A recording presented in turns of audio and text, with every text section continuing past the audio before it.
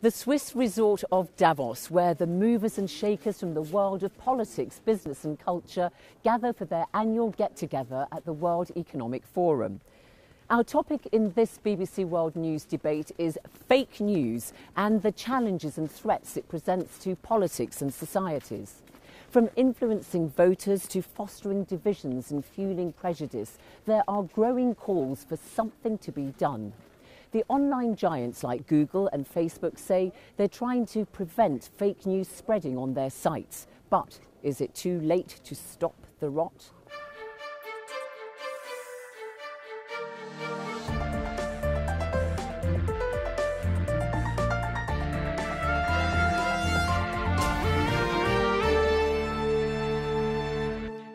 Welcome to the World Economic Forum in Davos for our debate on fake news. It is one of the buzzwords of our time because it is such a significant phenomenon of the internet age. Let me tell you who's on our panel.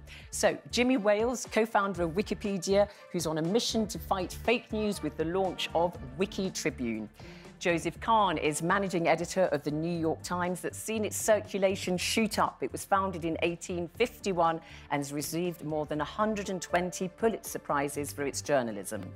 Anna Belkina, deputy editor in chief of RT, the Kremlin backed television network, formerly known as Russia Today, and Bilawal Bhutto Zardari, chairman of the Pakistan People's Party. He's the son of the former Prime Minister Benazir Bhutto, assassinated 10 years ago. Welcome to our panel, and of course to you watching and listening around the world on TV, radio, and online.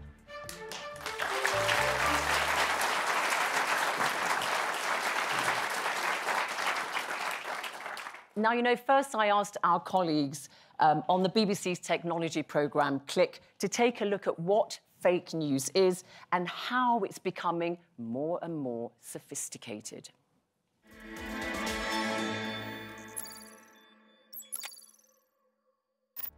The fake news. Fake news. Fake news. This is fake news. A little bit of fake news. Fake news. You are fake news.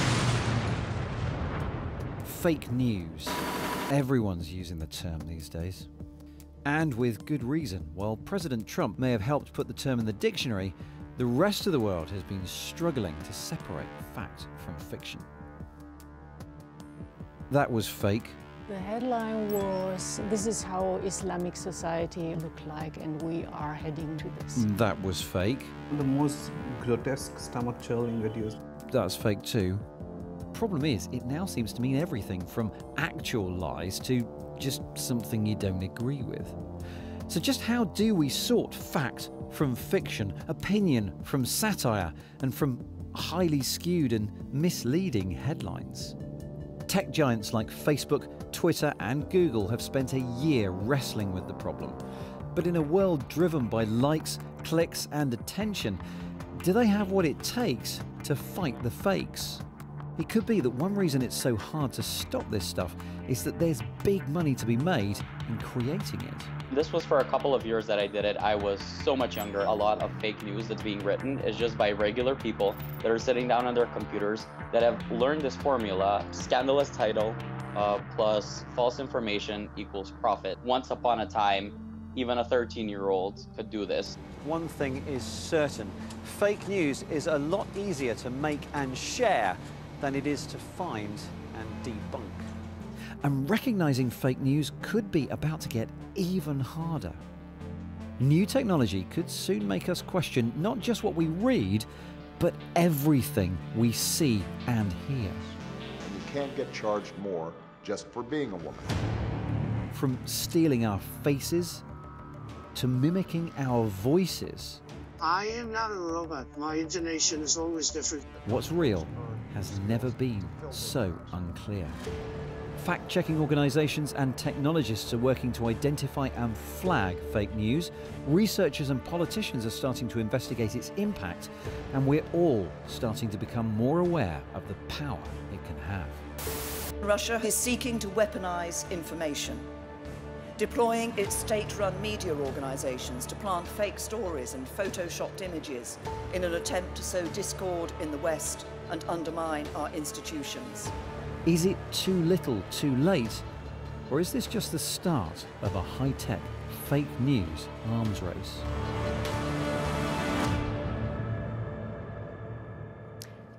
Quick question to all of you. How useful a term is fake news? Joe Kahn. Well, it's a useful term in, in the sense, as your clip points out, uh, the phenomenon of maliciously created false information uh, for political or economic purposes is an ongoing and very serious threat uh, when news and information is distributed so widely on technology platforms. Uh, Bilawal. Is it a useful term, fake news, catch-all phrase? Uh, you know, I'm not so sure, Zainab, because I feel that obviously misinformation, propaganda, disinformation um, have been long-standing components of information warfare. Uh, fake news has recently gained prominence uh, vis-a-vis -vis the American election, mm -hmm. but as uh, we saw in that clip, when politicians use it as a catch-all phrase to cover uh, political spin, stuff they don't like, then it, then it gets murky. Anna Belkina? I think the term is absolutely toxic because it muddles the debate um, and just the public discourse about accuracy and factuality in information. Um, it is um, also, it, we see it weaponized by public figures, but also by media organizations as a way to silence dissenting voices, as a way to avoid uh, answering to any kind of criticism. And um, at the very end, it is harmful to the actual problem, problem that we're trying to solve here. okay, Jimmy Wales, I mean, you know, we put fabricated evidence into fake news and news that simply people don't like. Uh, yeah, I mean, I do think that's a problem, and I, am surprised. I agree with Annabelle, except the one thing I would add to that is we should distinguish between fake news generated by teenagers and things like that, and there are actually better terms for propaganda for something like RT, uh, and muddling those two together is really a huge mistake. All right. Uh, uh, Joe Kahn from the New York Times, you were the recipient of a fake news award, a newspaper award yes. from the White House. And, you know, being treated as a bit of a joke and uh, people are making, a, you know, playing with it and so on. Is it a joke? Well, that's uh, President Trump's definition of fake news is the real problem with fake news, which is which is that his accusation of fake news is fundamentally fake. Uh, there, the the problem with fake news is not journalism, which sometimes makes errors in the in the process of reporting and writing, and then promptly corrects itself. Good journalistic organizations own up to their errors. Every single one of the awards that president gave, uh, the president gave out to fake news media were media organizations that made factual errors and corrected them. That, to me, is the definition of good journalistic practice. Calling it fake news is an all-purpose smear, which has made the term, as, as people said in the clip, a weaponized term sure. to try to... But you're wearing as a bit of badge of honor, are you? I got a fake news award from the White House. Why not? Okay. I wish we had more than one. Quite below, below, Bilawal Bhutto. I mean, that's one side of fake news, but actually, in your part of the world, when fake news is disseminated on WhatsApp or whatever medium, or it can have actually rather dangerous consequences. I mean, I think that it can have dangerous consequences everywhere. I think what we were referring to with President Trump is particularly concerning and dangerous, not because it's funny he's handing out fake news support, and, and you're absolutely correct, they've all been uh, corrected. The point is to have uh, the leader of a democratic country demonizing the press in such a way is what concerns me. Uh, coming from a fragile democracy, uh, from, from, a, political party in a country who's fought for Pakistan to be a democracy, uh, I'm concerned both with the use by politicians of this term to sort of demonize the press, and on the other side... Does that uh, go on in Pakistan, then? I mean, who's oh, behind yeah, fake news in Pakistan? well before yep. Trump. I won't take the yep. politician's name. Uh, but attacking and demonizing the media, uh, uh re repeatedly repeating false fiction on a mass scale, that's, that's sort of... And who else is behind it in Pakistan? Okay, so I think that, as with everywhere else, it's, uh, there's no uh, concrete uh, way to answer that question. Uh, yes, politicians are behind it. News media in, in my country and in, in other parts of the developing world are far more commercialized, are owned by big business interests who aren't limited in, uh, in, in the way it is in the UK, that you can't have a television sure. station uh, and, and a yeah. newspaper. They push out their commercial interests. So non-traditional platforms um, can actually be a source of rather credible news. So a lot, um, a lot of actors involved there. Yeah. Um, Jimmy Wales, Wikipedia is part of the digital explosion, of course, but you are, if I could sort of put it delicately, also part of the kind of fake news problem because there are a lot of inaccuracies, aren't there? There are a lot of inaccuracies on Wikipedia. Well, the, there, of course, there are a lot of inaccuracies in everything, but uh, the thing about Wikipedia is that we are diligently and passionately committed to getting it right. And so uh, we have very strong standards about reliable sources. Uh, we have a very open uh, policy of correcting any mistakes that come into us. Of course, uh, doing serious research, doing serious journalism inherently involves making mistakes from time to time. Mm. But the key is you just have to try to get it right, and I think that's fundamental. And this is very and different. Is there's from, no malicious or malevolent intent behind I think that inaccuracy? I think that's really important. Yeah. yeah. And also, you know, a lot of the fake news problem, fake news that gets circulated on social media and so forth, doesn't make it into Wikipedia because the Wikipedia community are very sophisticated about evaluating sources. And so they would see uh, fake news from uh, teenagers in Macedonia or whatever the classic example is, and they would recognize immediately that's not a real newspaper. I've never mm. heard of that. They check around, and it doesn't make it into mm. Wikipedia. Anna Belkina, we heard Theresa May in our short film there accusing Russia and of weaponizing information.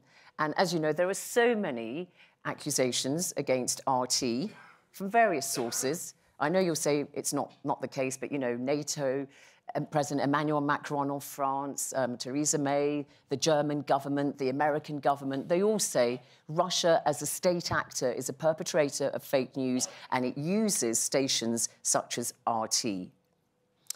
Well, those accusations, and I'm going to speak specifically about RT because a lot of them are very directly um, addressed to us those accusations are false. They're demonstrably false. I'm glad that you brought up the statements by President Macron. Um, RT has actually been a target of false information spread about it throughout the campaign, the presidential. So, what you're accusing President Macron of spreading false information well, his about campaign, RT? His campaign repeatedly has made claims that RT has spread false stories about their candidate. However, throughout the duration of the campaign or thereafter, they have failed to provide a single, a single example of such a news story. And now, um, all right, but we, you know, there is. I know you. Will, I know you will say it, it, they're all false, and but they come from so many, you know, quarters. Um, NATO, Russia. NATO say, says it's been dealing with a significant increase in Russian propaganda and disinformation since 2014. Mark Zuckerberg, Zuckerberg from Facebook has denounced Russia's fake news agency. I could really go on and on and on. And this so is part. Please, yeah. This is part of the problem that we're conflating. You know, terms like propaganda, misinformation, disinformation are notably much more subjective and vague than something like fake news. And they are used to dismiss and discredit any kind of dissenting, any kind of inconvenient uh, opinion or even just fact, uh, any kind of reporting.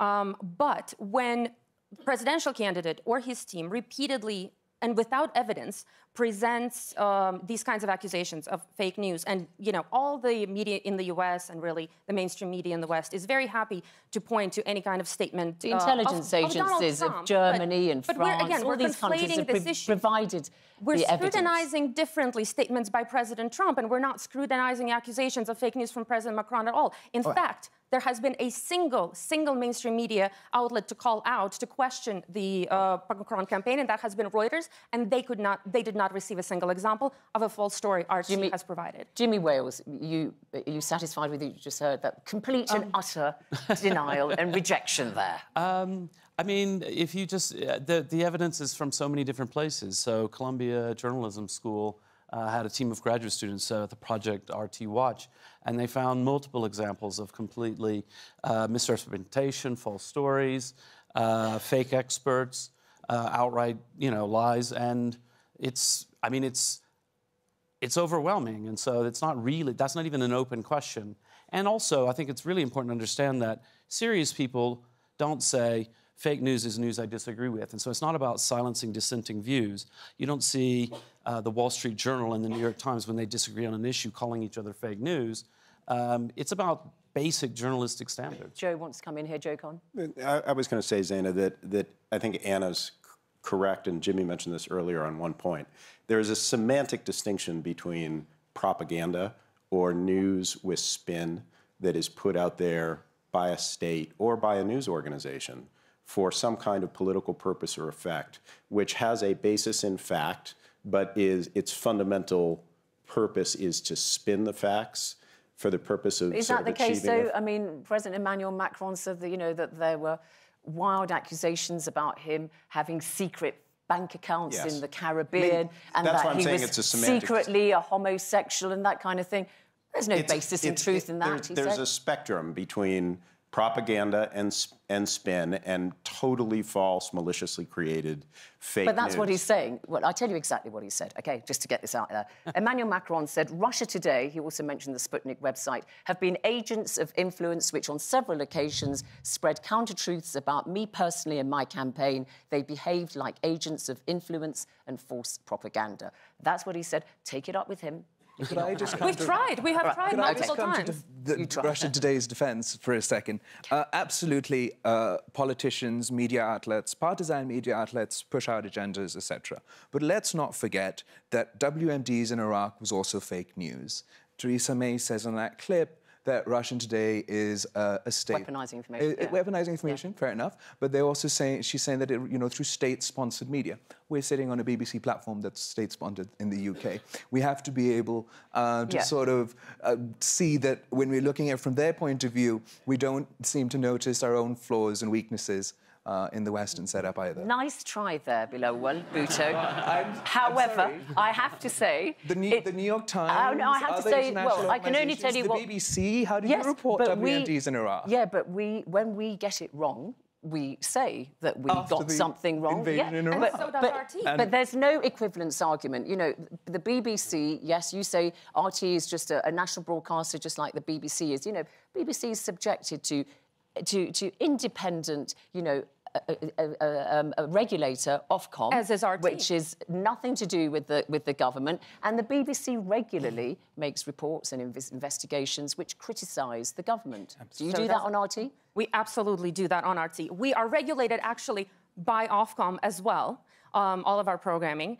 Um, and uh, just as Joe was uh, describing the process And have been of sanctioned um, multiple times by Ofcom. Less than the, B- than the BBC and never fined like the BBC has.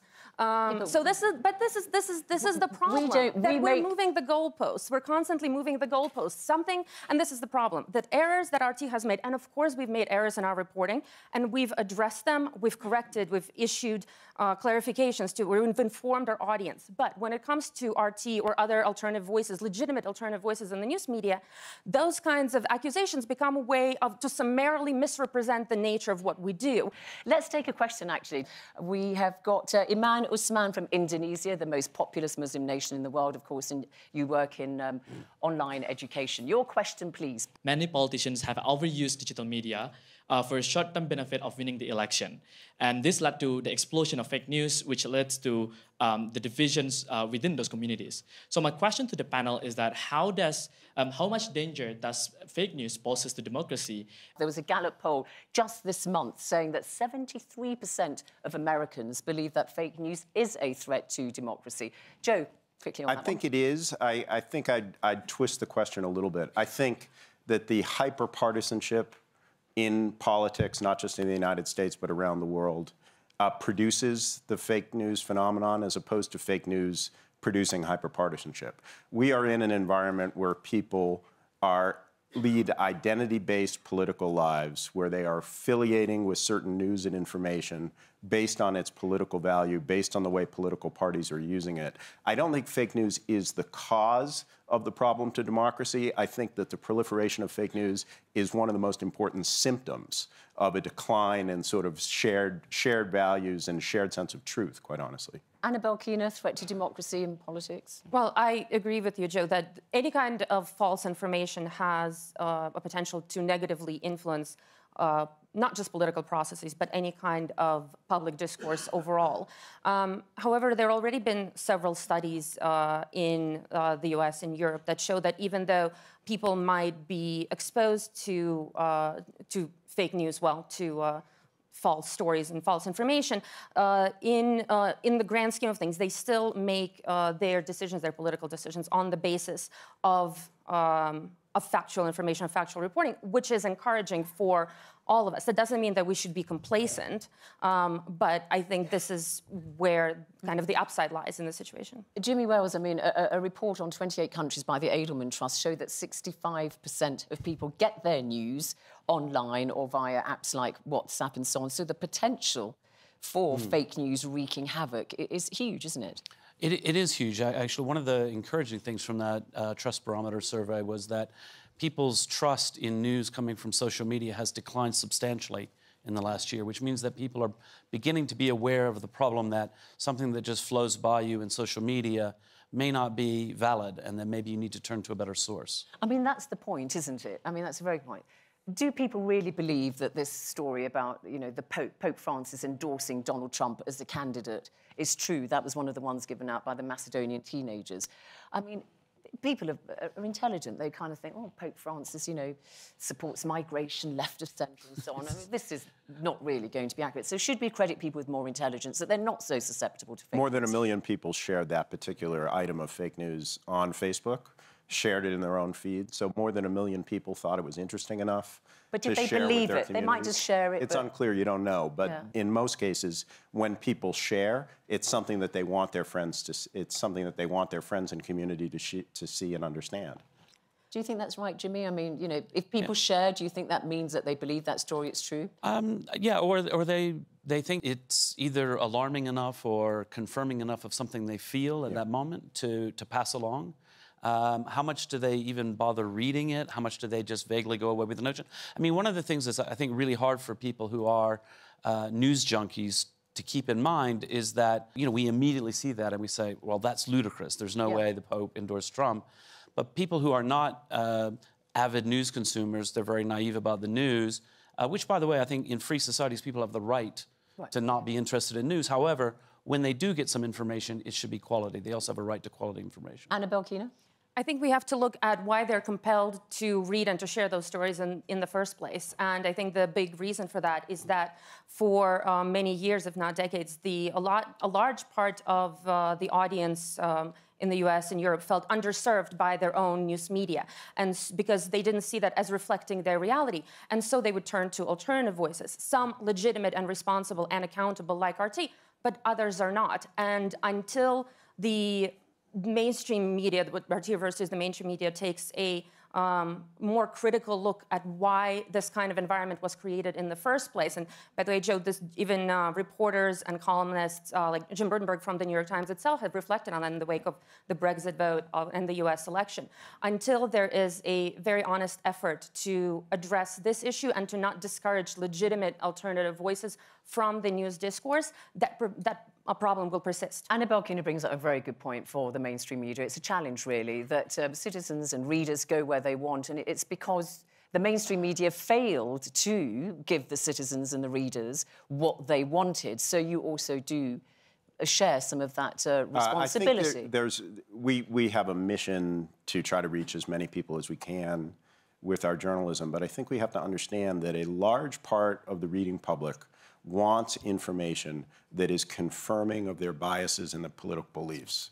And the New York Times and the BBC are not committed to providing them with information to confirm their biases. We are committed to providing them with journalism. So that in a hyper-partisan environment, you will have people constantly search for sources of news and information that confirm their prior political beliefs. They will often fail to find that in the most credible news media, and they will seek it out elsewhere. But it's not our responsibility but, to provide them with right. fake or misleading news simply to confirm their political All right, but the mainstream media is also, uh, people say, you know, responsible in the, in the sense that there has been a failure in regulation of standards in the mainstream media, which kind of helped the proliferation of fake news. I guess I would not agree with that. Not I, for the New York Times, but Other... Well, I can, you know, I, I can't speak for every element of the mainstream media. I think the mainstream media, for the most part, does its best to try to improve itself. It makes mistakes over time. The journalistic process is inherently imperfect, but we are committed to fact-based, you know, well-reported journalism.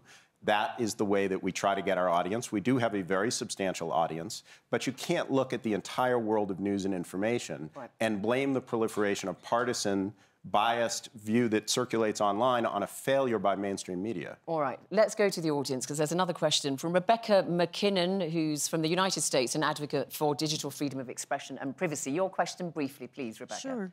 Uh, my question relates to the previous question, but it deals with business models and democracy. Um, we know now from, from studies of what has happened over the past year that disinformation campaigns appearing on social media were really the result of people very skillfully using the features and services that social media companies, Facebook and others, provide to advertisers and digital marketers. Um, so, so the question is, is the overdependence of our media ecosystem on advertising, and particularly advertising technology that tracks people all over the internet and enables very targeting targeted messaging to specific types of people to what extent is that an existential right. threat to the democratic discourse? Well, we've talked about the democratic discourse. So let's just keep with um, do we need to rework the business model? Because that's what the Macedonian kids did, didn't it? They were uh, trying to get absolutely. lots of hits so that they could get advertising. Yeah, absolutely. So the, the Jimmy Wales. The yeah, the advertising only business model has been incredibly destructive for journalism. Uh, one of the most encouraging signs that I've seen uh, in the last couple of years is the incredible surge in uh, digital-only subscriptions to the New York Times um, and other quality papers. People are finally understanding, hey, actually, we need to pay for quality journalism. The problem with, uh, particularly when we have this advertising technology, everywhere I go on the internet, I see the same ads. I see ads for boats because I like boats.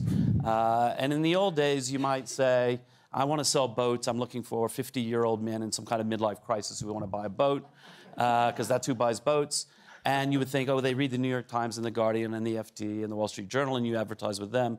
Now, the ads can be anywhere. I can be on a message board, I can be on Reddit, I can be on a spammy website, uh, I can be anywhere, and I'll see the same ads, which means that the serious players here are now competing head to head in a really direct way for ad dollars, for clicks, yeah. which puts the wrong incentives in front of everybody. So we need to and rework the business model. We need model. to rework the business model. Advertising as a piece of the business model is fine, but in this environment with this highly um, automated advertising ecosystem, journalism can't compete right. if it's just about raw, raw clicks, clicks, right. clicks. Need to rework the business model Absolutely. Bilawal? I would agree. I think that not only fake news for many reasons, but the business model uh, is a fundamental threat uh, to democracy and to media in a, in a country like Pakistan in particular. I mean, that's where I know more examples of.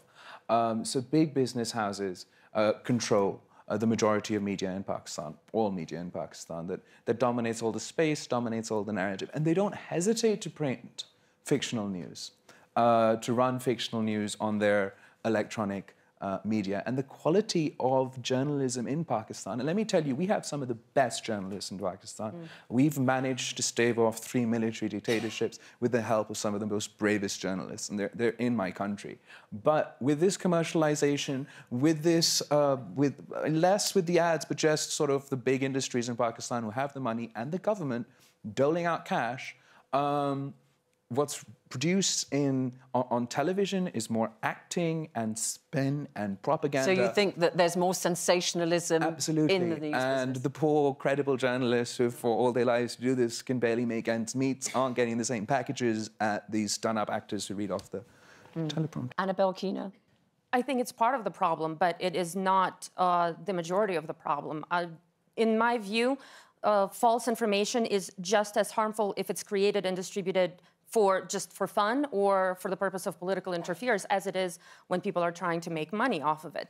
Um, the issue again is how can we inoculate the audience against this kind of information regardless of the means through which it is distributed and promoted. I mean, this really brings up the issue when it comes uh, uh about, you know, the likes of Twitter, Facebook and Google. Are they publishers or are they platforms? Jimmy Wales, you're nodding, so um, come to no, you. No, I, I, think it's I think it's super interesting what Facebook is doing. I think we we don't know yet what that will mean exactly.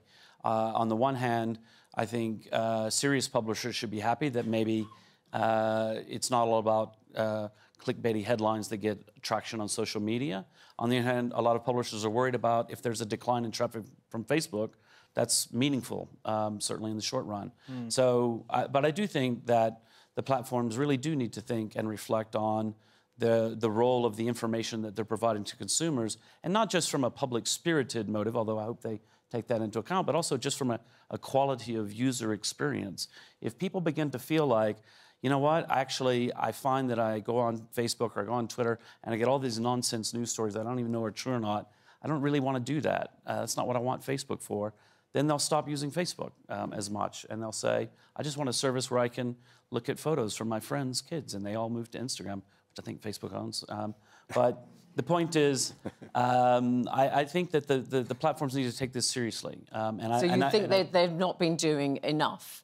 I think, I think that they have not been doing enough to the extent that their brands are being tarnished.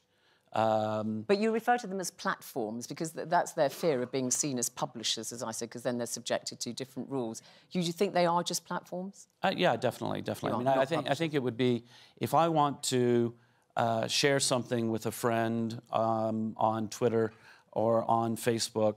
Uh, I don't think it's it's fair in any way to assume that Facebook is responsible for that content. Joe Kahn? Facebook are absolutely determined not to be reclassified uh, uh, in the business ecosystem as a publisher that, that really takes responsibility for what all of its 2 billion users around the world post, the accuracy of it, the, the, you know, the reliability of that information.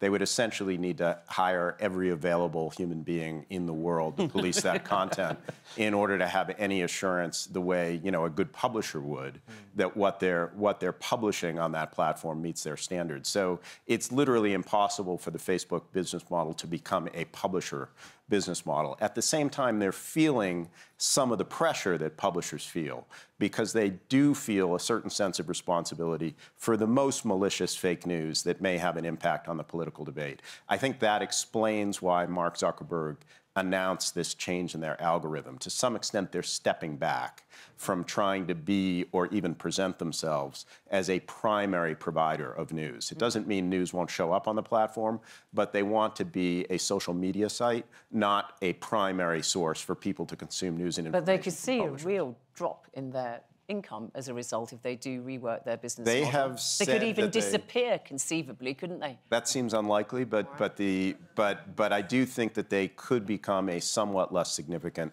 source of news and information, and they would not, at least according to what they're telling us, be that reluctant to be viewed as a less significant uh, source of news and information. Bilawal Bhutto? Uh, what has this Facebook's recent decision on this? How has that impacted publications like the New York Times? Because surely, sort of, uh, when this stuff is being promoted actively on Facebook, that would drive traffic to uh, organizations. We're, we're watching it closely. We're concerned. We think that it will impact us somewhat less than the ecosystem of true, you know, sort of fake news providers that Rebecca was describing who are looking for clickbaity returns uh, from advertisers. That was never our business. Uh, we never got enough revenue from Facebook to support the gathering and the reporting and publishing of real news Mm. anyway. Anna Belkina on this issue of the business model time to rework it Well, I think the uh, one danger that we need to avoid when uh, discussing the role of these platforms is to not put uh, three um, American companies, three platforms, essentially in the positions of global censors of news. Um, obviously, I have absolutely no idea when patently false information uh, is going to be taken out of the discourse, and I hope that this happens because it's harmful for all of us. But uh, they should not be deciding that one point of view is more valid than the other. Then, you know, Washington Post should be promoted over the New York Times, over BBC, over France 24, over RT when it's based, when it's discussing uh, and publishing legitimate reporting. That's a very valid point. I mean, you talked about, Joe said, Joe Kahn said, you know, you just can't have enough fact checkers to just, you know, deal with the volume of news and trying to see what's fake and what isn't. I think on there's a the temptation internet. to make them de facto censors. Yeah, but so, so what, what are the solutions? You've got this idea of Wiki Um, Tribune. Yeah, well, I don't. Uh, WikiTribune is is my effort to play a small part in in helping think this thing through. Uh, the idea I have is to say, look, we know that communities uh, can do incredible positive work, and we see that at Wikipedia. Of course, it's not perfect, but it's great people trying really hard to get it right. And I want to see if we can bring in a wiki-style community, pair them with paid professional journalists to do something new in the space of news. And so you kind of get successful- citizen journalists along with professional journalists Yes, working together. together as equals. And, uh, you know, true citizen journalism has produced some interesting things now and then, but it always hits a wall. There's a lot that you can't really do uh, as, a, as a thoughtful person of goodwill sitting at home, uh, working in your spare time. You can't drop everything and chase a story for three days and things like that. Uh, at the same time, we know that there's a lot that thoughtful people can contribute. And in the past, the structure of most news sites hasn't really done anything useful to bring a community. The, the classic, you know, news community is here's the news article, and at the bottom are the most horrible people in the world screaming at each other. Uh, and a lot of journalists are actually afraid of the community because of that, uh, because their experience has been I published something and I got all this abuse in the comments, Right. and that's not healthy. And that those those people, those angry people in the comments, don't represent the whole of humanity. All right, let's go to the audience again and get a question from Zunaid Ahmed Palak, Minister for Information and Technology in Bangladesh. Your question, please. Um, I thank uh, to the distinguished panelists for your insightful discussion. So, uh, in my views, there are two tools to tackle the fake news. Uh, one is definitely tough regulation, and another is self censorship. So, my question to the panel so, what would you suggest uh, for a country like Bangladesh? Although there is a strong argument from the government to regulate the fake news, but it can actually damage the freedom of speech or freedom of uh, press. Thank model. you. I mean, we've seen, I mean, in fact, uh, Downing Street, the United Kingdom British government, has just announced a new unit to rebut fake news. And we know that France and Germany have actually brought in regulations, Germany in particular, with very, very heavy fines if you're found to be perpetrating fake news. So there are some examples there of government regulation. But Bilawal Bhutto, let me put it to you, you've got to strike that right balance between regulation, hate speech versus free speech. I mean, I uh, look forward to seeing how uh, this goes forward, forward in a country like Germany that is so careful uh, in protecting freedom of speech and fundamental rights. And it'll be an interesting place to see how this, uh, this sort of regulation goes forward. Same with France. But just with the minister from Bangladesh, my gut reaction is the fear of uh, undermining freedom of the press, especially in young democracies like ours, uh, with a tendency to authoritarianism, and why I much prefer and I'm really excited about the idea of things like uh, WikiTribune, because a lot of citizen journalists in Pakistan that would that would allow sort of credibility and authenticity and help with the training. Uh, I like also this um, Africa Check and. Uh, what's the Ukrainian one? Stop Fake, Mm. where journalists have got together. These are this is sort of this traditional uh, PolitiFact angle of uh, of checking uh, fake news. Perhaps this will develop into a more community uh, uh. So you want the grassroots to kind of I'm police more fake news rather than than- governments I, I would it? say I, I, I'm more um, comfortable with something uh, like you think like that's that. enough, though? I mean, for example, you've got elections in Pakistan Absolutely. this year, and you know, And I'm sure, but we, we've, we've historically been uh, dealing with fake news in uh, election cycles. Bangladesh and Pakistan dealt with fake news, uh, fake news uh, even back then. So we've, uh, we, it is there, there is that component. But I personally do not trust my state to be Really. regulating this. But when you've got really detrimental effects and harmful consequences of fake news in your part of the world, where it can result in death, no, absolutely. don't you need a heavier hand so- than just grassroots policing? Uh, no, absolutely. Grassroots policing on its own. Well, One important component I think that we're not addressing is education. I think we need to relook how we're teaching our kids in school. I don't remember being taught about journalism in high school or anything. You'd have taken an elective at, at university. If you're taught about sourcing, if you're taught about bias, if you're taught about how to uh, research and check multiple angles and see, and also taught what does fake news look like from, from, from so I think education is a really strong component Another, another uh, in, tool. in countering. Yeah, I come to Anna Belkina on this issue of um, hate speech versus free speech and the role of government in regulating fake news. Well, um, a lot of um, traditional news platforms, such as the press, such as TV broadcasters, are already uh, pretty thoroughly regulated in all the countries where we operate. This is true for RT, it's true for the BBC, and there I most certainly don't think that additional regulation is the answer.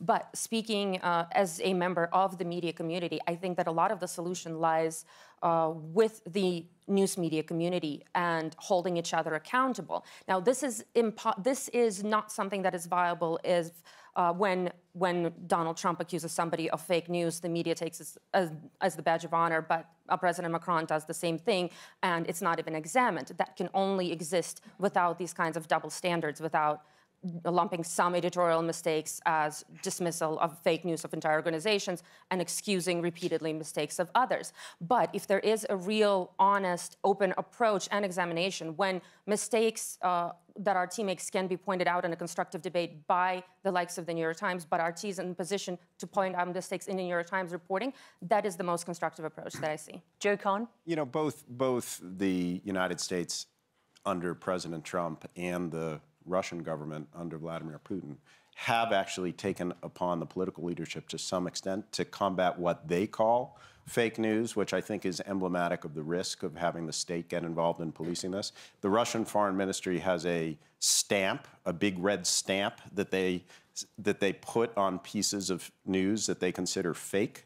Donald Trump has his fake news awards these are not the people that we, the broader community, should be looking to to tell us what's accurate and what's not accurate in the news media. I think that is a very slippery slope to authoritarian sense. So no government regulation. I would say that I have very little to no faith in government regulation as a way of ferreting out fake news. The only thing that's really going to work with fake news is more quality news, more attention to quality news, uh, better traction for quality news on online platforms, and ultimately simply more information that's out there to combat the maliciously fake. So it's a shot in the arm for things like the New York Times, which is why your circulation has gone up, you think, because people think uh, been I around since the mid people are 19th gravitating century. to reliable brands.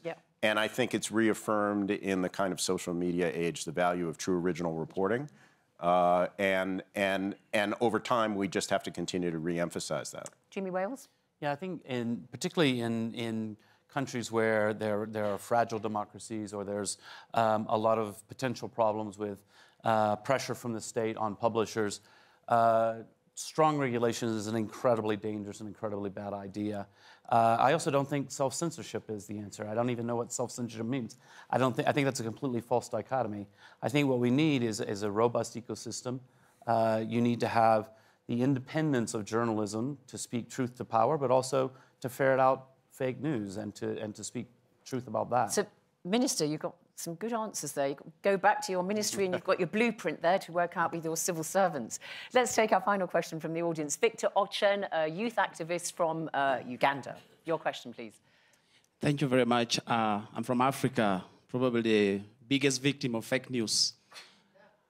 What I wanted to ask is uh, in a continent like Africa, where across the countries, there's that strong tribal loyalties to politicians to the point that it does not necessarily mean citizens are questioning whether the news coming from their leaders are fake or true.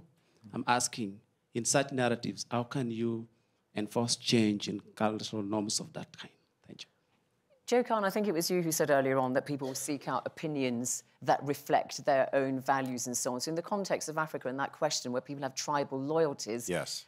How can you try to... Um, I don't think it's only Africa where people have tribal loyalties. I mean, I, th- I think it, it's well, a general... since he put it in the context of Africa, okay. But I mean, the, the question But is, how I, I can you bring a, about a I think cultural it's a generalized change? problem that's, Okay. that's getting worse, which is the hyperpartisanship of politics and news media debate. I mean, I think basically the idea of nonpartisan facts, uh, even science, is itself being questioned or subordinated to partisan politics. You will believe what I, your political leader or spokesman, say you ought to believe mm. about climate change, about the performance of the economy, about what's happening in your own community, about the threat from immigrants.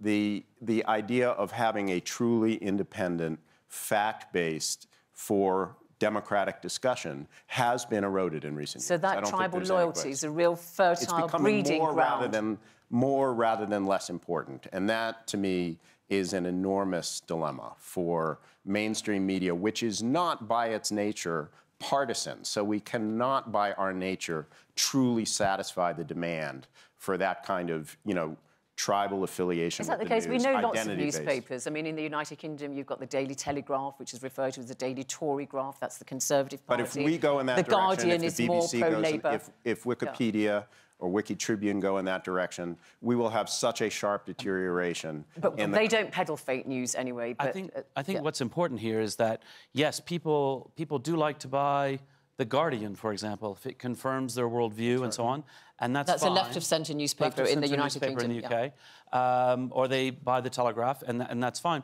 But I, I find, you know, Wikipedia is incredibly popular, New York Times is incredibly popular, BBC News is incredibly popular.